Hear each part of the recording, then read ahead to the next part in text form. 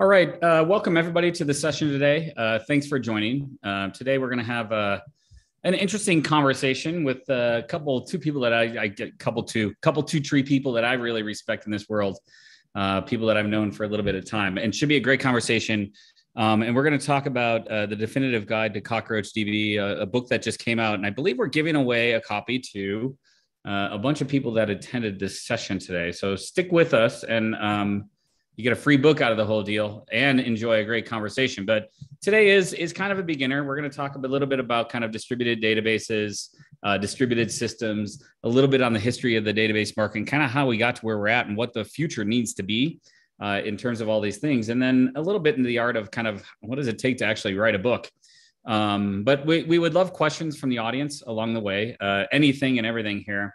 Um, you know, our, our panel of guests here are, are pretty well versed in databases. Uh, collectively, across all three of us, I guess there's probably a couple couple decades here of, of knowledge. So um, we're happy to take questions along the way. And and before anybody asks, yes, absolutely. The the recording for this will absolutely be available later today. I know we. Uh, you know, we we we we host these things on Zoom, but I know we're also streaming to YouTube, and I sometimes to LinkedIn, but I know we're, we're streaming to our YouTube channel, which allows us to get this up on YouTube very quickly. So um, with that, I am going to actually come on camera and I'm going to ask my, my, my two guests here, our, our great panelists, Guy and Ben, to come on camera too. So um, today we are going to talk about uh, the definitive guide to Cockroach DB, which is uh, probably the most recent O'Reilly book to be published. I don't know. It was only, it's only like a month old. Maybe they published another one. Um, but before we even get started, I got to tell you, I got to give all the thanks to O'Reilly for giving us actually a cockroach on the cover of the, co- the, the book because it'd have been really strange if we didn't get a cockroach on the cover of this book, you guys. I, I don't I don't know. Um, but I want to introduce uh, Ben Darnell and Guy Harrison. Uh, they are two of the authors of the book itself. There was a there was a third person involved, uh, Jesse Seldess, who's who leads up uh, the documentation team at Cockroach, who is also a, a, tremendous writer in his in his own right. Um, but today we have Ben and Guy with us. So Ben and Guy, welcome. I guess good morning, Guy. Oh, I can't hear you, buddy. You're on mute. Um, my apologies. Um, yep. Hi, I'm I'm from Melbourne, Australia. Um, it's Australian cockroach as well on the book. I don't know if you knew that, but yeah. That's good. I, I, I like the detail, guys. So we're already getting there. And then uh, welcome Ben as well. Where, where are you? Where are you, Ben? Uh, I'm in Brooklyn. That's right. Beautiful Brooklyn. Where my my second home, I guess. So, all right, guys. Well, uh, thanks for joining me. Uh, let me just actually bring up my notes so that I am in a good spot here, guys. Uh, let's see here. Okay, great. Um, so just to start the whole session, um, you know, you are a couple of the two authors on this book. I would love to learn a little bit more about each of you. Ben, I know you pretty well after three and a half years of working with you for your company. Um, but do you want to just kick it off, kind of a little bit of yourself and a little bit of history? Sure. So my background, um, I've been working in the uh, in the tech industry for uh, uh, 20, uh, 20 years now. Just uh, just hit the uh, hit the 20 year mark since I started working at at Google um, at the, to start my career. Um, and at Google, um, I worked on a number of things, including database abstraction layers was was my first project with with Spencer Kimball, who would go on to be co-founder here at Cockroach Labs and uh, and then I also worked on on Google Reader um, for uh, for several years. So that was my uh, my most prominent uh, project there at Google. And then after after I left Google, I uh, went to uh, I've been at a number of startups, um, most notably Dropbox and Square, um, and got a lot of experience with with different kinds of, of database technologies along the way at all these different all these different startups that uh, that uh, came to uh, to inform uh, the approach that we ended up taking um, here at uh, Cockroach Labs. Well, God bless you, and I miss Google Reader, Ben. And there's a lot of people. Who Me too. A lot of people. I'm telling you, it's one of those yep. beloved things that, like, why I don't, you know, the, mm. you know, it's sometimes Google does weird things with great products. So it was great, Ben. So there you go. I think a lot of people will agree. You probably hear that a lot, though. Yeah, yeah, I did. Yeah, so it's always something uh, something people uh, people uh, people bring up. And yeah, it's a, it's a very uh, very sorely missed product. So thank you. Yeah, that's okay. It's these things happen. So, um, and then Guy, I met you probably for the first time about I don't know like ten or twelve years ago. I was working in the Hadoop space, but um, you've been around and involved in databases really for quite some time as well. Yeah. Yeah, yeah. I'm, I'm sorry to have to say it. It's coming up to almost 40 years now. Um, yeah. I started working in the industry in 1984 Um, so that's a while ago. Um, when I came in, um, the relational database was just um, gathering steam. Um, I worked with a couple of pre-relational technologies, um, but uh, in the mid mid '80s, I started working with Oracle technology and um, worked pretty strongly with that. Wrote a few books about Oracle in the '90s. Um, worked with MySQL and, and, wrote a book on that. and then I became uh, the VP of engineering at a, a, reasonably large database tools company called Quest Software. If any of you guys remember Toad, yep. um, we were the Toad company. Um, and in that role, I was responsible for sort of keeping tabs on all the different database technologies that were around, which is a great job for me because I just love sort of like learning the new stuff. And around about 2010, you know, the relational database seemed to be running out of steam, but a bunch of new technologies like Hadoop, um, Cassandra, MongoDB emerged. Um, so I got, you know, I got involved in them. Um, t- these days, I um, I work as a CTO for a small database um, blockchain technology company called ProvenDB. Um, but I, I keep I keep my tabs on um, on the various database technologies. I write a monthly column for database trends and applications, and of course, last year I was um, lucky enough to collaborate on the book. Yeah, and then Guy, you know, I I like you. I'm all. I'm coming up on the 40 year thing too. I think I graduated from, and I my undergraduate. Oh man, it's 92. I think as I grad. So I'm actually at the 40 years. So I'm close with. I'm getting closer. 30 or whatever it is. It's a long time. It's 30, you, dude. it's I can't even do the math anymore. It's getting to be big numbers. Um, the uh, guy you also have been kind of interested in distributed databases for quite some time as well. Yeah, I mean it's uh you you wrote another book about distributed systems and distributed database. What two years ago, something like that? Uh, the, the, yeah, 2015. I wrote a book um, called Next Generation Databases, That's which right. was kind of about the sort of like the latest wave of technologies that um, we alluded to before. Hadoop, Cassandra was in there. A few databases that don't exist anymore, like Riak, but it was essentially um, the sort of like the, the, the dual revolutions that, that, we used to call big data and NoSQL, yep. you know, the, the relational database kind of like failed to support the globally distributed, always on applications um, that people were building. And so they were looking for alternatives. And at the time, those were the alternatives that, you know, you, you had to pick one of these sort of not quite right systems. Um, of course, that's I'm leading into, of course, that today we, we're lucky enough to have um, distributed SQL databases like Cockroach DB, yeah. which um, really allow us to make no compromises. Well, I'm an old relational person as well, and I never really understood NoSQL, honestly, the whole concept. I think I gave up on the document model somewhere around XML. I just didn't get it. Like I, I need relationships. I think of yeah. normalization, you know, like. I, I, think that's fair enough. But if you're a if you're a, um, a, a young developer or a, or a modern full stack developer working yeah. with JavaScript, um, it's it's kind of very handy just to be able to say, I've got this JavaScript object, I'm just going to dump it into something like MongoDB. Yeah. And you know, you can get started and move quickly that way. Um, the problem is, is that at some point you're going to say, and I'm going to need a consistent transaction, or I'm going to have to write some sort of complex logic to join uh, or reconcile data, and you'll have to do it all in, you know, hundreds of lines of JavaScript code where, yeah. you know, one SQL um, join with a group by could do the same thing. So, um, but it is understandable, and that's why you know modern databases do have JSON types. So if you do want that experience of just dumping your JSON object into a database, you can still do that. Yeah, um, and, and, it's an important feature of, of Postgres style databases that include Cockroach DB.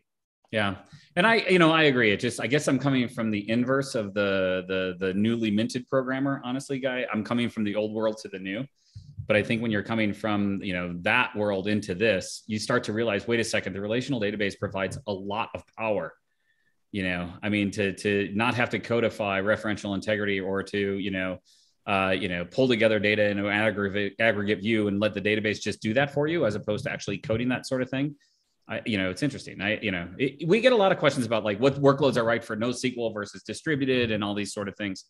It's a, it's an interesting question, right? So yeah, absolutely. Yeah. So Ben, back to you. Uh, so you are co-founder and chief architect of Cockroach Labs. And now, what year did Cockroach start? It was 2015, correct, or 16? What time did it, the company started? A year after the the repo, right? Right. So we started as a, as an open source project in 2014, and then That's founded right. the company in 2015. Right. And really, what was kind of the the genesis of starting this whole thing? I'm sorry, but Ben, it's a bold step to start a database company. Um, there's big, big, huge database companies, and there's you know there's some great databases. So, what what kicked this all off with the three of you? So the, the idea for Cockroach uh, Cockroach DB actually goes back a few years uh, a few years further um, to about uh, 2012 when uh, Spencer and Peter and I were actually at uh, doing another startup together uh, called Viewfinder. We were building a, building a photo sharing app um, that you haven't heard of. Um, except in the context of, uh, of the backstory of CockroachDB, um, but uh, but we we were looking at looking at the database options. All three of us had had been at had been at Google, um, and and so we liked the kind of uh, automatic scalability that we got with uh, we got with Google's tools, and we were looking at uh, looking at the alternatives that uh, that existed out there in the out in the real world, and uh, and everything seemed to be kind of lacking. Um, like I, I, had had experience with um, with uh, Bigtable with with Google Reader, and and saw that it was it was really nice for um, in terms of scalability and automatic management, but it had a lot of a lot of limitations, um, especially around the lack of indexes. And yep. to have good uh, good index support, you really need uh, transactions or something close to transactions. And so I, I had built something that, uh, you know, a pseudo transactional layer to update uh, update indexes by hand. And that was the kind of thing you needed to do when you're using um, a Bigtable type system, um, including its, uh, you know, counterparts like uh, like HBase out in the open source world.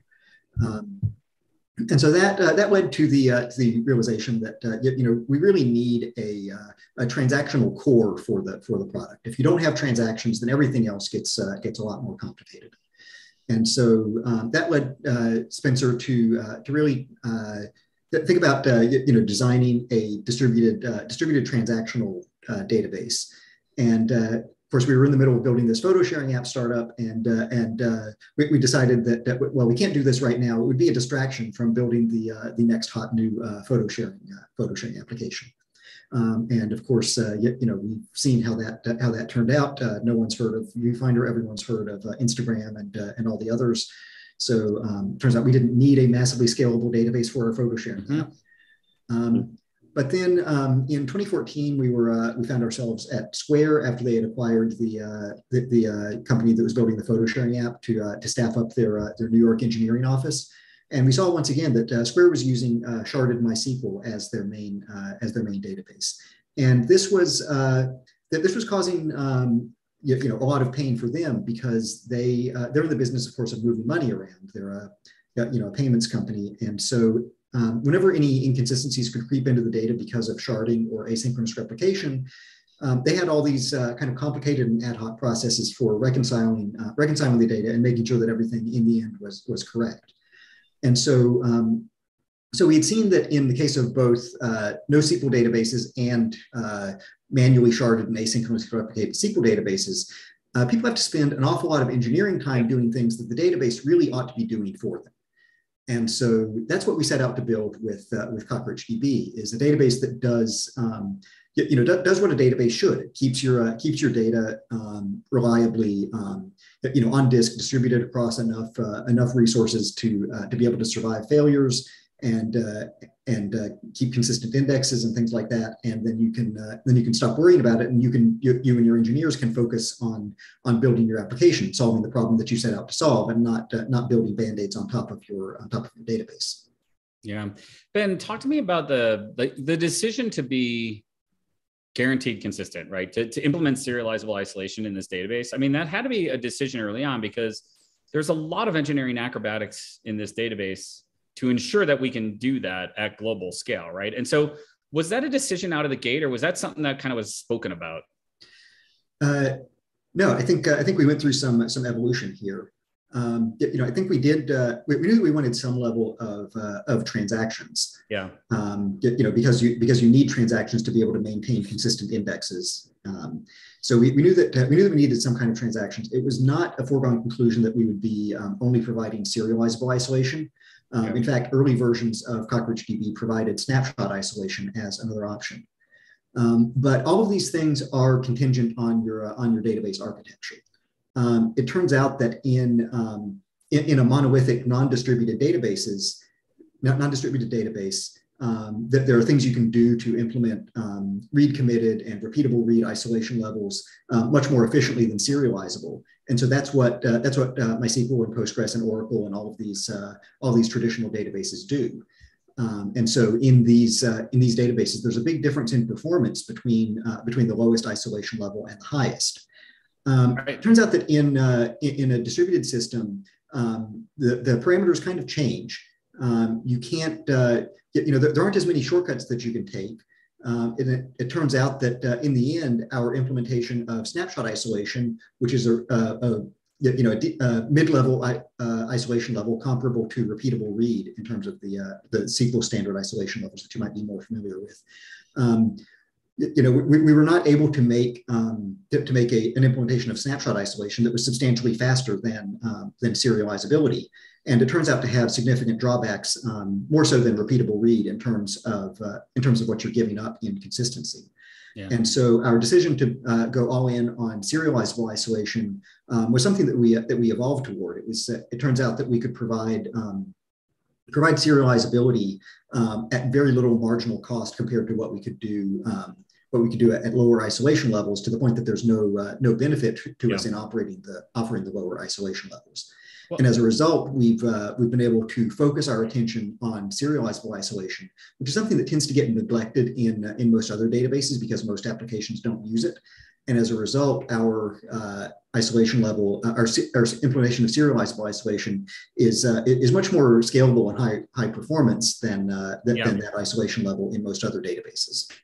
Yeah, and, and Ben, honestly, like I'm just very happy that that was the decision very early on. I, I just asked in the chat, like, how many people actually know what isolation levels are? Um, just as a general, you know, I maybe nobody will respond because honestly, as a developer, I didn't care. I just used the database and I didn't think about these things. It was like, oh, the DBA was dealing with this like performance tuning thing. And they changed the isolation level, but it has ramifications on your application and your data that I don't think everybody knows about.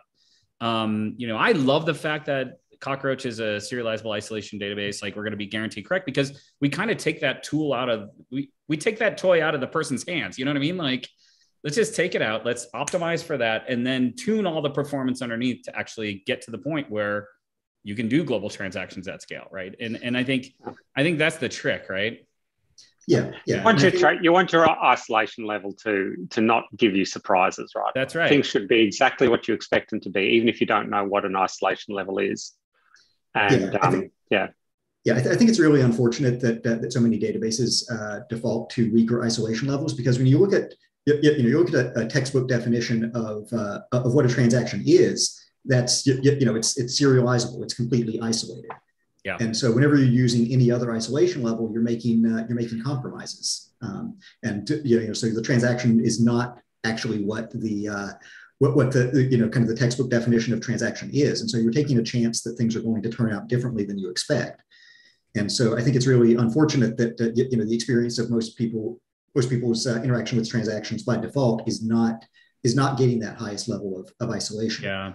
And it's funny, Ben. I don't I don't think people realize like I just always thought that the database was going to have correct data. Like literally, I had no idea what the I and ACID meant. I mean, I think you know people throw around this term ACID transactions all the time, like oh we have ACID, and I think the trick is the I in ACID in in ACID, right? And I think there's a whole lot of software engineering that goes into that, and I think it's um I think it's actually important for people to understand. But hopefully in the in the future they won't even have to think about it anyway. We just guarantee right? So I, I like that. Now, Guy, you've been around databases for a long time as well. You know, we're talking a little bit about isolation level, some of these things.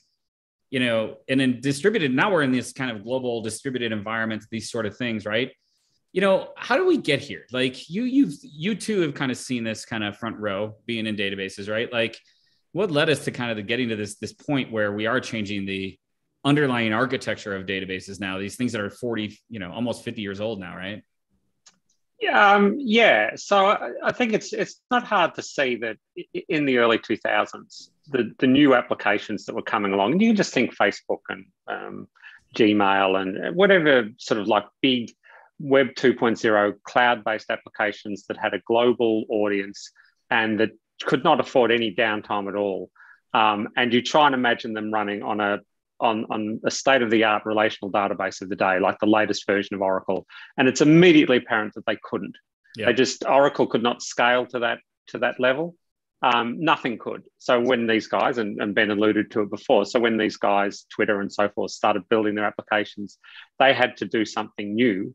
Um, and you know, in a lot of cases, um, Google built Bigtable, but in a lot of other cases, they did sharding. So they took MySQL and they took thousands of oh, tens of thousands of MySQL databases and put a layer on top of them to make them look like they were one logical data store. But they didn't have, you know, they lost everything in there like SQL and transactions during that process. And that was a sort of like a horrible compromise, but it was necessary for, you know, the web to, to be what it what it was. But anyone working in engineering at that point was, you know, painfully aware of what an abomination uh, a sort of like a large sharded database was. So engineers being engineers, they looked for alternatives. And the first alternative that they came up with really was to say, well, what if we just forget about consistency for the moment um, and just focus on scalability and availability? Um, and as a result of that, we had this sort of like the eventual consistency idea, and we had what you know became sort of like tagged as NoSQL databases like Cassandra, where really you couldn't be very sure that it would be correct, but you'd be sure that it came up and that it could respond and it could scale to global levels. Yeah. And then engineers went to heroic levels to write code on top of that that would deal with all the inconsistencies that would come up. And I'm, you know, we're talking about really heroic levels. I'm sure Ben has plenty of sort of like memories of um, the sort of coding that's required when you're sort of like dealing with a database that you can't trust. Um, yep. And then those decisions that were created for sort of like huge scale sort of like trickle down to database or applications that really had a sort of like a lower level of scale. It probably could have done with just a single MySQL database, but it became sort of like an article of faith to some extent that you needed sort of like a distributed database. That's not wrong. It's just most applications wouldn't scale that that far. It could probably have gotten away with, you know, the relational databases of the day, but you know, the the mind share was shifting in the other direction. Yeah. Um, I guess there's one other fact I'll just briefly mention, and that is that you know um, uh, DevOps and agile development really sort of like played a role here in in the idea that we can um, that schemaless um, allowed you to sort of like iterate faster, and you could, in particular, you could commit commit some code you didn't have to commit an alter table at the same time. You just write your, your, your, change and it would, would percolate through. And that's still an issue today. But as I alluded to, you know, we've got the JSON-B data type to if you need an extensible schema at the same time as you need a sort of like a, um, uh, a fixed data model, then you've, you've got that with um, the JSON-B data type. Sorry, I sort of rambled on a bit there, but um, you know, the, where we were in the 2015 when I wrote Next Generation Databases, and if you read it, the last chapter is essentially saying we're left with a plethora of choices, none of which are quite right for any application. And so we have to always choose something not quite right. And I was sort of like ended the book sort of hoping that there'd be a convergence of the sort of like the the best of um, database engineering, you know, that I knew from the 80s, 90s, 2000s, um, and the distributed um, database engineering that was sort of um, epitomed by things like Cassandra and so forth. And essentially, with distributed SQL databases like Cassandra, we've we've got that solution. It was just I wrote the book one year too early to sort of notice, yep. I guess. Yeah, and I think it's it's been an interesting run. You know, there was this whole debate. Like I, I when I first got introduced to this whole like acid versus base you know so like the the two different types of database. I think that's kind of what we're talking about a little bit here as well guy and i think that was really interesting. You know i mean ben you were at google you kind of had a front row seat of some of this stuff right? Were you around when kind of I mean, they had bigtable for a while and then they eventually built spanner right? It was i mean it was dean and Ghemawat were kind of behind that right? Were, were you kind of in the same area as that was going on and were they dealing with the same things ben at that time um, I was not uh, I was not working on uh, on Spanner or, or Bigtable or any of the uh, any of the database right. systems. I was I was on the, I was on the user side. So working right. on Google Reader, we were we were using Bigtable. We were one of the uh, one of the early adopters of of Bigtable as for, for an interactive application. Yeah, um, and uh, and so we, but we did get to see some interesting uh, interesting evolution there. Um, so as I said, uh, you know, for Reader, we had to build our own uh, pseudo transactional indexing system on top of Bigtable. Um, and this turned out to be a common enough problem that there was a team at Google that built uh, built a system called Megastore, which was a yes. uh, you know a, a general purpose uh, transactional implementation on top of uh, on top of Bigtable. Um, and that, that turned out to be very popular. Um, I think there were more once that was once that was built, there were more applications uh, using uh, Megastore on top of Bigtable than uh, than just uh, Bigtable itself, at least as far as uh, interactive user-facing applications went. Um, but because Megastore was layered on top of, uh, of Bigtable, that it, I mean the performance was not great.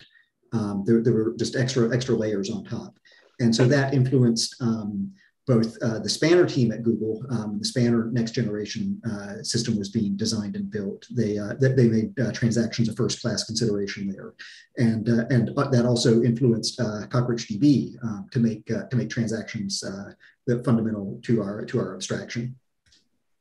Yeah, and it you know it's interesting, Ben, that um, you know I, I I wish I could go back in time 15 years ago and look at what was going on at Google honestly, because I feel like a lot of the innovation that happened in that kind of time frame, the, the time that you all were there, I mean, that mid 2000s till 2000, like a lot of that innovation is now being used at mass in modern distributed systems. I, that, that it's like, I, you know, the last company I worked at was CoreOS. Our CEO used to call it GIFEE.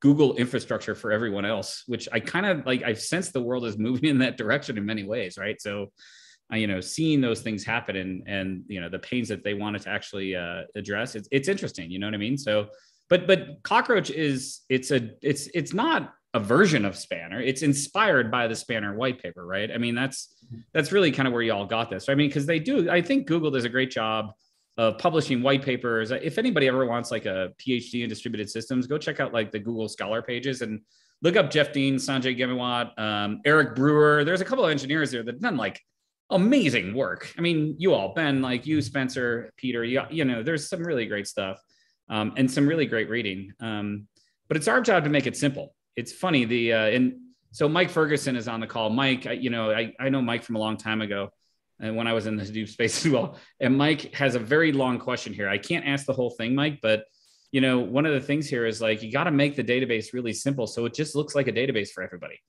Now, there's a lot of complexity in Cockroach database, Ben. And, uh, you know, sometimes I remember when I first started, I had a hard time explaining these sort of things. You know, you've been around this thing for, oh gosh, man, seven, almost eight years now. How do you explain Cockroach database to people? Like, you know, you're at a cocktail party. Well, let's not use that because that's a wholly other thing. But like, how do you explain it to people? Yeah, so um, I mean, it depends on the audience. Um, I often talk about it the same way uh, the same way Guy did. Um, in terms of being uh, kind of no compromises. Um, we take the uh, the scalability of, uh, of non-SQL databases and the uh, uh, with the the feature set and flexibility of, of SQL. Um, I think you know describing it as the as the best of both worlds is is a pretty good pretty good shorthand there. Um, another another way I look at it is that you, know just like our, our namesake insect, the cockroach, um, which is said to be able to survive a, a nuclear explosion. Um, you know, cockroach makes um, uh, CockroachDB makes t- takes things that would be disastrous in other uh, in other databases and turns them into non-events. Yeah. So in a CockroachDB cluster, you can take uh, you know machine failures, uh, data center re- regional failures, um, you know things like that are just handled completely transparently with no uh, with no data loss. Um, and also other kinds of things that you don't necessarily think of as disasters, but like you know extreme uh, sudden success if you need to be able to scale up. Yeah. if you have a if you have a uh, tr- uh, traditional relational database, there's only so far you can go by uh, by scaling up a single machine, and you may have to introduce sharding. Which, if you need to retrofit sharding into an existing database, that can be an, an incredibly painful transition. Yeah. So you may find that if your uh, if your application becomes too successful, then you have a kind of a, a different kind of disaster on your hands.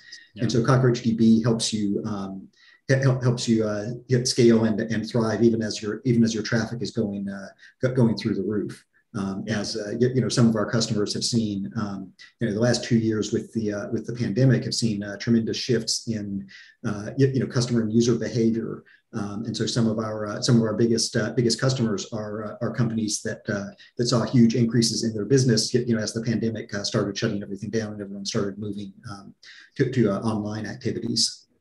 Yeah it, it, you know, it's funny, Ben. I, I have basically abstracted everything we do at Cockroach Data at Cockroach Labs. It's all about scale. Like, yes, we're going to allow you to scale both elastic up and down, meet the needs of like bursts. I almost think as resilience and like this ability for high availability, it's a problem of scale. Like, do you have enough like instances? Do you have enough endpoints that things can answer? Do you have the data there? that it's kind of a question of scale. And then there's this kind of whole the geo replication of putting data all over the planet. That also is kind of geographic scale. Like I always come back to scale, dude. Like it ever, over and over again. So I don't know, guy, like, you know, you, you were coming, you know, okay. So Ben wrote the damn thing. You were coming in and, you know, experiencing it. What was the, what were some of the things about cockroach database that were the most difficult for you to kind of get your head around and kind of grasp so that you can write about it, guy? Because there's some, yeah. complexity yeah. here. Yeah. Yeah, well, um, uh, I think it was. I think it's chapter chapter two or chapter three is the architect chapter, and that was one of the yeah. chapters we wrote first. And that was hard because um, you need an architecture architecture chapter. most people don't need to understand the internals of a system, but the book had to include one. And um, yeah, I, I, was I was really early on in my work with Cockroach, so you know I had to I had to learn about all the smart things that um, Ben and his colleagues had done to, to make it all work. And I've been familiar with some of these things from other database systems that I'd worked with, but there's a lot of, you know, um, really complex and sophisticated stuff in there but then, and I don't want to sound like an advertisement for Cockroach DB because I don't work for your company, and you know I'm, I'm supposedly an independent person, but I'm the author, one of the authors of the book, so obviously yeah. some stake in it. Um, but then, what what really became you know interesting to me was once I'd written the architecture chapter and started going into the sort of application development and administration chapters, most of the time I never had to think about that stuff again. Um, you know, so, things that are complicated on the inside don't have to be complicated on the outside. And if, as you've alluded to before, if the scaling just works um, and the command set for sort of managing it is relatively simple, then there's not that many scenarios in which you have to understand um, how the Raft protocol works when you're dealing with, you know, setting up a multi-region cluster. The two, the two, obviously, Raft is there as sort of like one of the building blocks. Um, but you don't have to sort of like know that when you're sort of like deploying it. You just have to understand the concepts of a, a, a, a, sort of a multi-region deployment. Yeah. Um, you know, the rest of it, everything was um, fairly familiar. The I was surprised how richly you'd um, implemented uh, the SQL language. You know, a lot of times you come to databases that have added or have got a SQL implementation. I'll say it's SQL 92 you know, a very, very old subset, but, um, you know, you had a very um, modern and comprehensive um, yes. set of commands. Um, and the, um, the tooling was mature. Um, and so it was really was a pleasure to work with. And, uh, you know, I started a new project this year, a side project, and, you know, I had to choose a database. And sure enough, I chose Cockroach DB and created a serverless instance and haven't regretted that for a moment. It's been yeah, very productive. I, you know, for me, honestly, guy, it's kind of once you see it, you can't unsee it. Some of the magic underneath the covers. I love that you pointed out the architecture um, chapter. I remember, I think I was at about a month and a half here at Cockroach Labs, and I sat down with Peter Mattis, one of the other founders, and we had to build out um, a deck that kind of talked about the architecture of Cockroach. And through that exercise, I learned more about distributed systems and kind of how this thing works. Like the, like to me, I think the magic, the magic moment in time for me, Ben, was when I figured out like primary keys on tables and how they relate to ranges in the KV store and the translation of KV to SQL. It's magic. It's it's it's brilliant and it works, right? And I think it's there's some really cool stuff there. And I think that that architecture chapter is very helpful. Honestly, guy, I think it helps people understand the database. It helps them understand ranges. It helps that, you know, I think one of our most popular blog posts is how to choose a primary key for a table in CockroachDB. And Ben, yeah. you, you, I think you help write that one, Ben, right? Like that, that, that mm-hmm. post is great. And it's super important, right? Yeah, yeah, it is. Um, you know, choosing your choosing your keys is very important in any database. Um, I do want to say, um, you, know, this magic that you're talking about of translating, uh, you know, keys into uh, into strings um, and the translation down into the uh, mm-hmm. into the, the key value, the underlying key value layer. That, that's certainly not unique to Cockroach. This is something that uh, you know MySQL and SQLite uh, both do. Um, our encoding here is actually modeled on the SQLite encoding. So this right. is something that uh, you know part, parts of this apply even to um, even to very non-distributed uh, databases like SQLite. Um, yeah. But it's still a, uh, a fundamental thing that you have to keep in mind. And in a distributed system like CockroachDB, it takes on even more importance because the cost of uh, the cost of getting this wrong is uh, is much higher because you're talking about you know not just going off to uh, you know doing more disk seeks, you're doing uh, potentially more uh, network round trips off to other nodes in the system, and so you have to um, you know care about balancing. Um, your, your primary key to spread data across uh, across different nodes, um, to, trying to keep a, a, balance between keeping data that's going to be used together in the same place and keeping data that's going to be used independently in different yeah. places, so that you can um, maximize the parallelism that you're able to get from your hardware resources. Yeah, and it's it's that the storage layer is really the I think that's what really it, it started to make a whole lot of sense for me, Ben. Honestly, when I got there.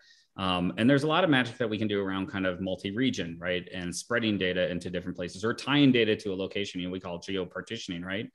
Was, was the concept of multi-region and geo-partitioning, the, these kind of fairly complex and unique concepts, were they part of Cockroach from the very beginning as well? Um, not really. Um, I think we started at like, it was always kind of in the back of our mind um, that this would be something that would be, uh, that would be feasible. Yeah. Um, but it was, uh, it, it, was really more of kind of uh, you know in the beginning it was like well let's let's focus on on single region. This is an area that we may be able to explore later. Um, it was uh, it was not really um, a fundamental uh, fun, fundamental goal from the beginning to get things into uh, into global uh, global configurations. We, we really um, were focused on um, on solving um, you know smaller smaller scale uh, problems um, you know dealing with with scale within within a region and not adding adding additional um, regional latency to yeah. the mix in the beginning.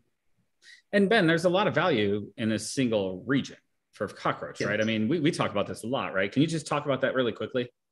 Yeah, yeah. So I mean, you know, like I said, the, the original impetus for Cockroach DB was not about uh, about global uh, reach at all. It was right. about um, you know scalability within one, one, region. But even more than that, it was about um, like I said, having the having the database take care of the data for you. Um, I think uh, one of the reasons that uh, one of the reasons that Spencer started, uh, you, you, know, writing out the first uh, the first version of the uh, of the Cockroach DB design doc is that if you look at what it takes to set up a set, setting up a single uh, a single Postgres virtual machine is fine. That that's easy. Um, but it, if you want to set up a pair of replicated Postgres machines, you know that's that's suddenly a lot a lot more work, um, and that's and uh, and I think one of the reasons that Spencer started writing down the, the cockroach de- uh, design was uh, was because he, he was you know trying to trying to procrastinate and not have to deal with that of setting up uh, you know these kinds of basic operations on day one, and so that's why with uh, with cockroach DB you get um, you know you get replication built in. It's not something that's yep. Uh, that's extra complexity that you have to add on after you get your your, your, you know your first toy demo running. It's just there from from day one.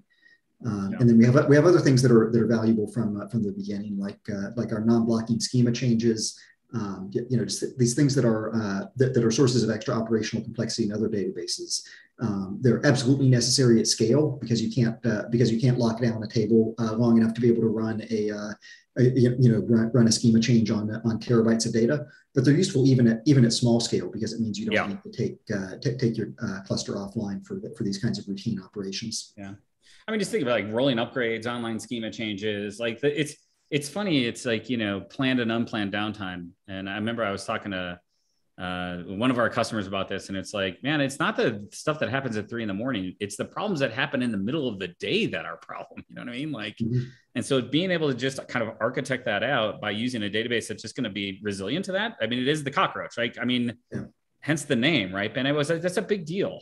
Yeah, and I, I, think that's you, know we're, reacting in part to the the trends in the uh, in the industry. You know, right. I've, I've, worked at companies that would go um, would go years in between database upgrades because that was such a painful operation. Mm-hmm. Um, but uh, you, you, know, look at the way uh, the way browsers have uh, have evolved. You know, we used to get uh, you know new versions of uh, new versions of browsers every every year or two, and now they're coming out every six weeks. Auto updates pushed to the entire world.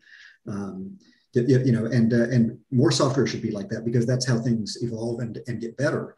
And so, you, know, we knew that uh, that any new database was going to have to go through many iterations to get to uh, to, to, get to something that's really uh, really good. And so, we wanted to make uh, and so so that was that was a priority from the beginning to be able to upgrade without uh, without downtime.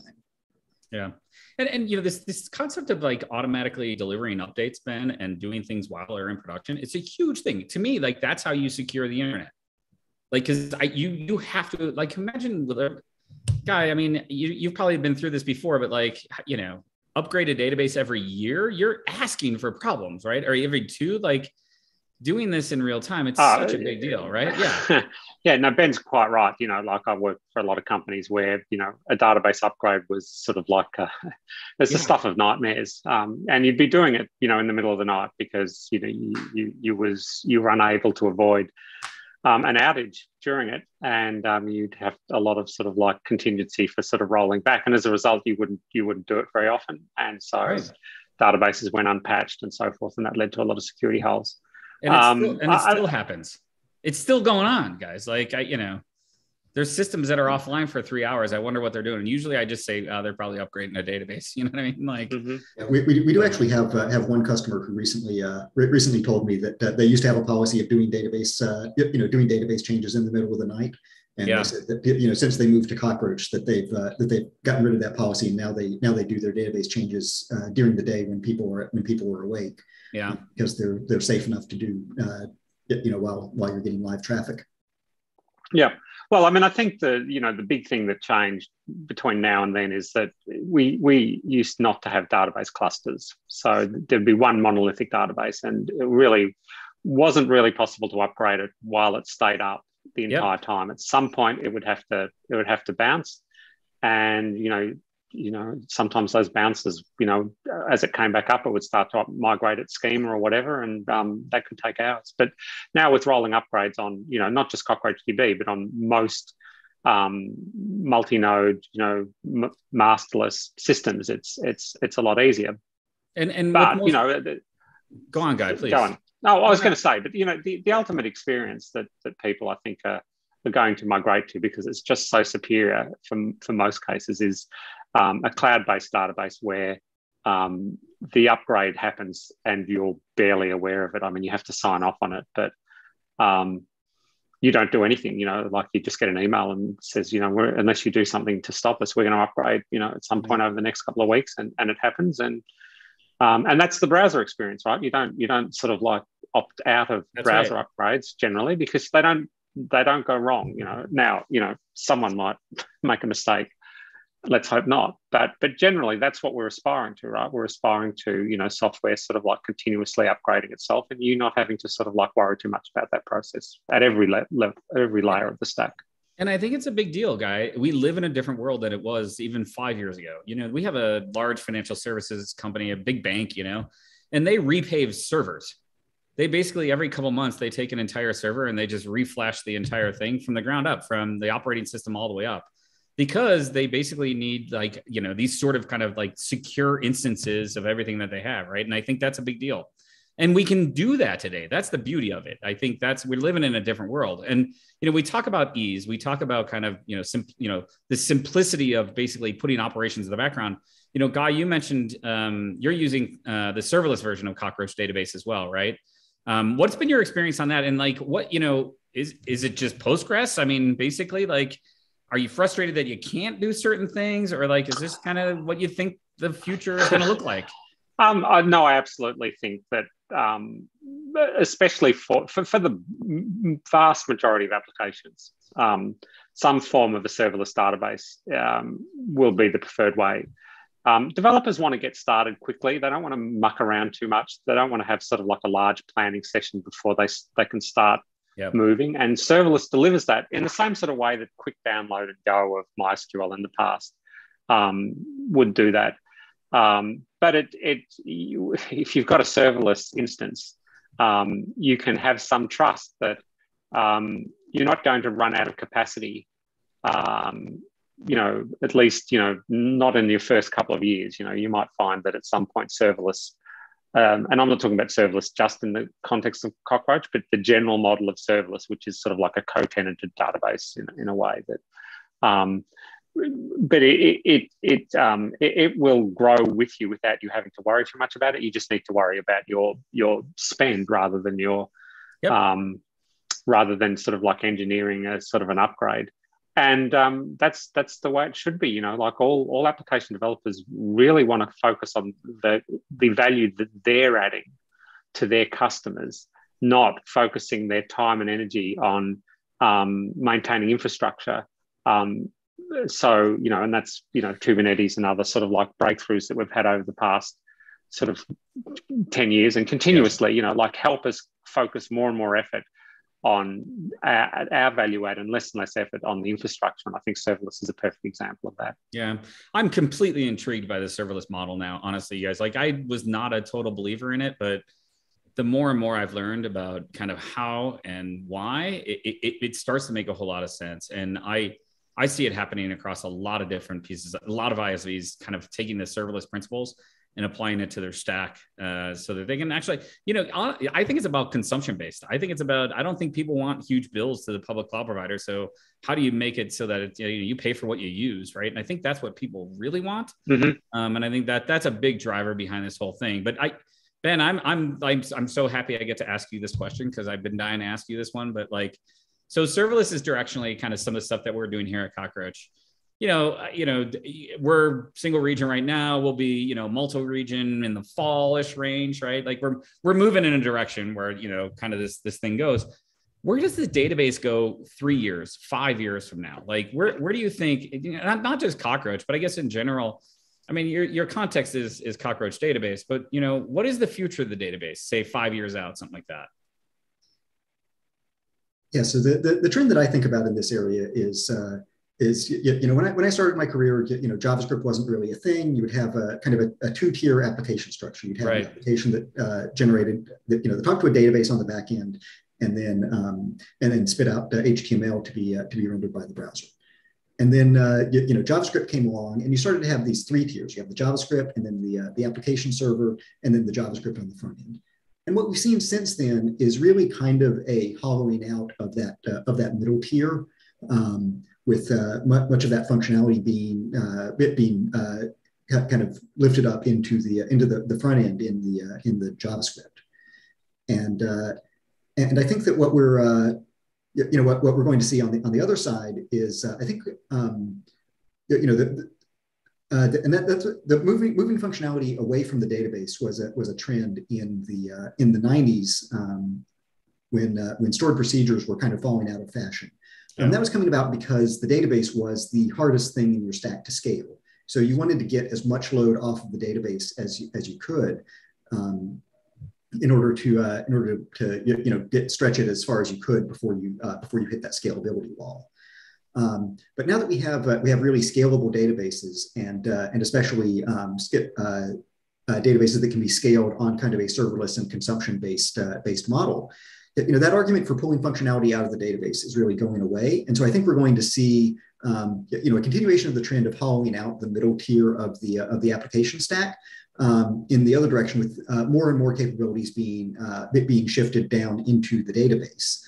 Um, and so I think, uh, I think you could see, uh, could see a world in the future where you get, um, your your, uh, your uh, front end, whether it is uh, you know JavaScript in the browser or a, a mobile app or whatever, talking uh, much more directly to the database than uh, than they do today because there's uh, there's not really a need for a, a heavyweight layer in in front in, in the in between the the front end and the application. You know, I think we can build. Um, all the, I mean, there's you know there's performance and isolation and security and all, all those things, but all these all these capabilities are things that databases need anyway. And so the, these things are going to be built into uh, built into the database, and then it becomes you know something that's not you know it's, it's not crazy to think about uh, a, a, mobile application sending uh, you know communicating directly with the database in in the future. Yeah, it's almost like we return back to this kind of almost client server, but it's distributed server. Like you know, it, it's you know, it's that it's the two tiers, but you have this distributed system in the background now, Ben. I, I'm a believer in it. I really am, and I and I think the tech is almost here to do it. Like we're we're we're just at the precipice of something like that happening. So, um, Guy, what do you think the database looks like in say the next three years, five years? Uh, well, I think we're um, having seen it all split apart and come back together. I think the convergence trend is going to be the one that um, the battle that everyone will be on. Like, so everyone that doesn't have a JSON support will add JSON support, and everyone who doesn't have a SQL support will add SQL support. And that's what you see if you look at. Yeah. So if you look at what MongoDB is doing, for instance, they're sort of like pushing as much back into the box that they took out. You know, I'm not yep. criticizing here, but it's just an obvious thing for them to do better SQL support, transactions, and so forth. Um, so there'll be a sort of like a, a, bit of a convergence on a functionality level. As I said, I think serverless um, and cloud-based, we, we're well past the, the tipping point for cloud-based databases. They make a lot of economic sense. Um, and uh, you know, even a cloud-based database where you're paying for idle time still makes sense if you if you can avoid paying DBA costs and other human costs involved in running your own database. But with serverless, it's just absolutely resistible financially, unless you've got some really really powerful need to run it on your own data center. In which case, I think um, we're not quite there where the experience inside the data center matches the experience um, that you get from serverless. Um, you know, Kubernetes is, um, is is obviously the platform for sort of creating private cloud type experiences, but um, I, I like to think that we'll see it get mature to the point at which you can have essentially serverless type resource consumption from a Cockroach DB instance or, or other database yeah. instances running inside internal clouds running Kubernetes. And I honestly think that's enough to aspire to in the next sort of three or three to five years. I don't think, I don't, I don't expect another big database revolution. Um, that having been said, I didn't expect the last one. Really, it looked like relational had sort of bedded in for good. But um, you know, if you look closely, the, the, the fault lines were there. Um, I you know, I, I think our digital experience is going to be similar in five years from now. I don't think we're going to have something as revolutionary as mobile phones or Web 2.0, but yeah, you know, been wrong before, ready to be wrong again. Yeah. Well, I just I, I I imagine a world where there's just getting puts and there's SQL queries that are behind those things, and you know it's some connection string in the sky, and it's like this SQL API that you're just dealing with, and nobody has to deal with the database the database becomes like a data service that you kind of do all these things. And I, we're not that far away from that. I, I think we're, we're heading that direction. So, so final topic, guys, I do have to get beyond this and just, you know, I, the title of this thing was to talk about a book. We heard, we didn't even talk about a book, you guys. So, um, just like, just to, I know we have to drop it just the top of the hour. We're going to have to actually cut this one right at the top of the hour, but like, I don't know, guys, I, Guy, you're coming new to this stuff. I'll, I'll start with you. What was the biggest challenge with this book in particular? You've written other books, right? And so, w- with this definitive guide, what, what was the biggest challenge with it? Uh, well, for me, usually when I'm writing a book, I'm kind of the expert on the book team. I'm usually the only person on the book team, you know, yeah. I'm the sole author. Um, but I'm bringing my expertise, or or I, am still learning something. But you know, I'm coming with it without sort of like um, uh, other experts on the team. so this was a bit of a different role for me. Um, and actually, I think it worked out fine. Um, you know, I learned a huge amount about Cockroach DB during the process, which is one of the reasons I took on the task because I, I did really want to dive deep and this gave me the impetus to do it. Um, but I think having someone who was uh, experienced in databases, but not necessarily that experienced with Cockroach DB was a good thing because yep. as um, Ben and Jesse funneled through the sort of content through me, I had to understand and then express what I'd learned. And there's nothing to, to, having something explained to you by someone who's just grasped it is a good experience. When you've known something for five years, sometimes you just can't explain it. There's too many hidden assumptions in what you what you know, um, and then you realize you've got to go back, you know, sort of like five years of your experience and explain, you know, I don't know, raft or whatever, but, so, you know, other things that you thought everyone knew, but you turns out, you know, they don't. So I think that made the book a good book, uh, accessible. Um, at least I hope it did. Well, I got to tell you, I was I was like overjoyed that you ended up being the author because you have this like deep experience in the traditional relational database.